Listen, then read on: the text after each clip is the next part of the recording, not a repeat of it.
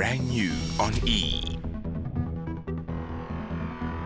All right, listen up. The men we're after are professional runners. They like speed and guaranteed to go down the hardest possible way if we find them.